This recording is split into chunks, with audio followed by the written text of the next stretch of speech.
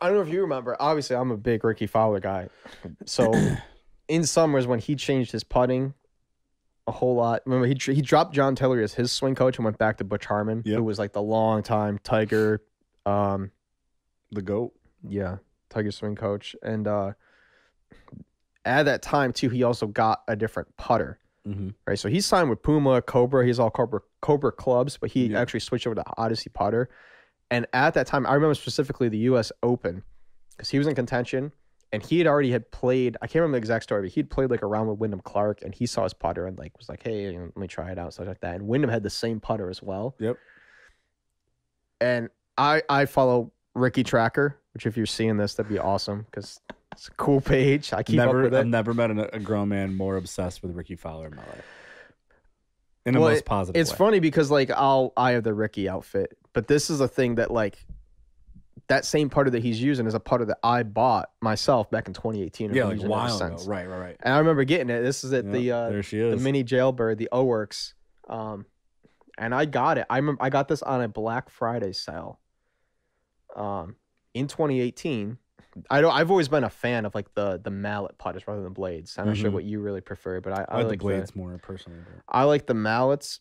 Um, since then, you know, I've changed the grip out a bit. But th- these, I think they stopped making them around that time, 2018, 2019. And then they've now like remade these. Yeah, And they've gotten pretty big in the past uh, six months or so. But I, I, not going to lie, I considered selling it there for a bit because it was, they were a hot item in the, the golf market all of a sudden. I mean, why wouldn't you want to sell it and make more money? Well, it? and they started remaking them with like the black and white stripes. Yeah. And these red ones are kind of rare now. hot commodities. Yeah, Um, but at the same time, I've lo- I mean I've been using it since then. It's it's the longest running club in my bag at this point. Mhm. Everything else is, you know, shorter term than the past five years. But for sure. it's uh, I love this putter. Oh yeah, I love that. What kind of putters do you guys like? Let us know. Yeah, You know, you want the down. blade or the mallet? What's your what's your style? Yeah, You know, when I was younger too, I uh for a long time when I when when I got my new set of clubs in like mm, 2016 2017 mm-hmm. I I switched then, but before that, when I was like a kid, I always had a blade, and it was like the mini golf blade looking one. Like that's how they all work. Like it was kind of two-sided. yeah. Like the two, And I'm left handed. Like right. everything I do is left handed, but then I golf but right golf righty. Um, and so when I was a kid, I would always swing righty, but then I would putt lefty, What? and that's what I did for the longest time. And th- and I. We're talking back like when I started, like I was like 12, 13, out golfing with like my dad and my grandpa. What and that was before fuck? the like Spieth left left hand low, because then he Yeah. started that. Because yeah, left hand low. Yeah, But it was like so I weird to me. I uh had already been putting left handed, you know, like left hand was low, but I was putting left handed, and then my swing, and I, I've played around with it a bit since then, trying to go back to it because it's like Can you swing left-handed? I, it's been a couple years since I tried it. Dylan Cottrell out there in Buffalo's lefty, and, Mhm. and so I used his clubs a couple times, but not really. Like I never took full swings. No with the shit. thing, but it was just like mentally, I think, just like a different stroke type. It helps separate the putting stroke from you know like an Yeah. iron stroke. No, that's really cool. That, I didn't know that. That's so crazy. Yeah. I know some And I- people that like play baseball, like they'll hit right-handed but throw left-handed. Yeah, yeah, yeah. yeah. That's cool. I've played around with my my grip a lot since and try left hand low and stuff, but like it's just I don't know. It still feels more comfortable just like like I usually just do like a prayer grip. I was gonna say, I, was trying to remember what you do. I know you do the prayer grip. I do the claw. I like the claw grip personally.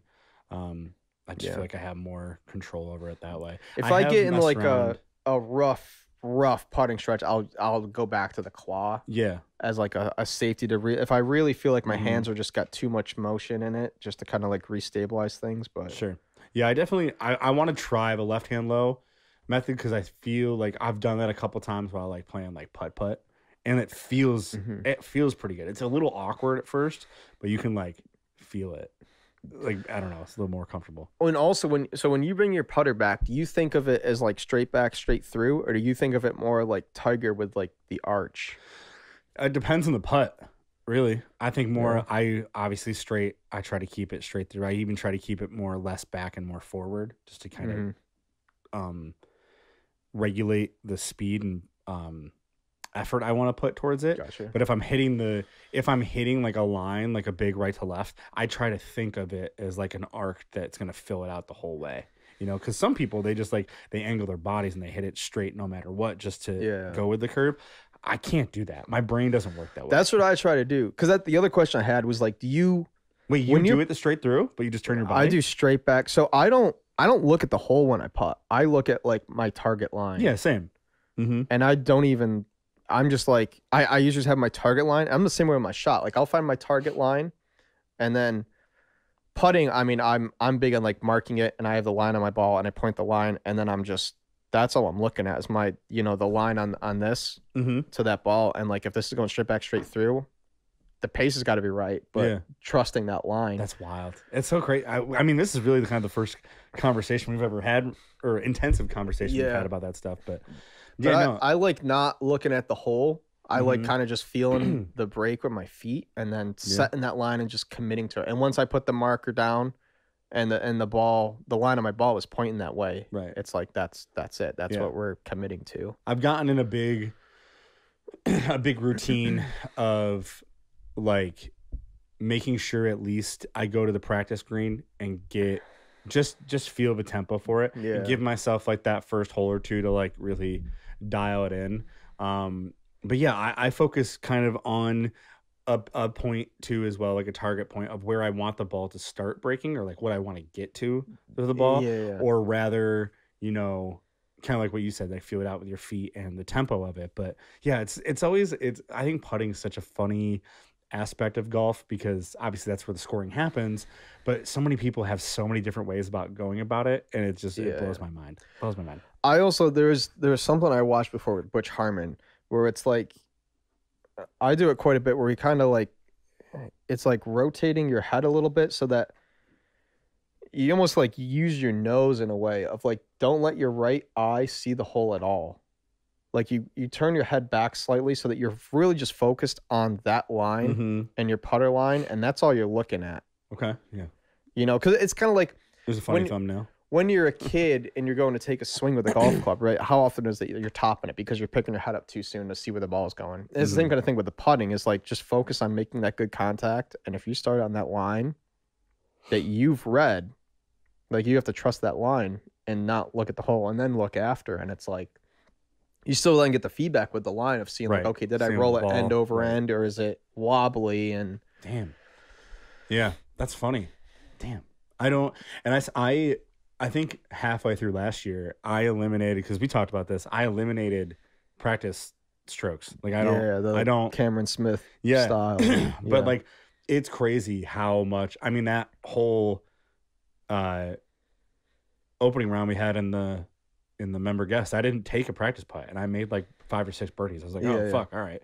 So it makes. I mean, it, it helps me because like if you if you read the line, if you're reading it and you know what you're gonna do, your body's gonna your body what it has like an 80% chance of or an 80 85 percent percentage more of like knowing what to do rather than like getting in your head about how to feel things so, yeah, yeah. yeah i don't know I, I love the science behind that shit so Yeah, I try to do the same with just like other iron shots. you know, like on the Mm-hmm. on the tee, I have the again I have the line on my ball. I use the line on the tee as well, mhm. just to kind of set my start line. You know, if I'm if I'm starting out right to try to draw it or try to cut it.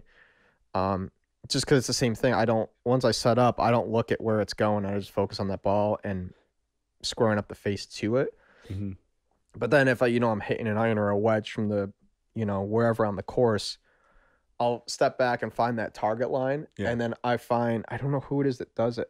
Um, I want to say it's Nick Faldo that really stresses that like finding the like intermediate target in front of your ball.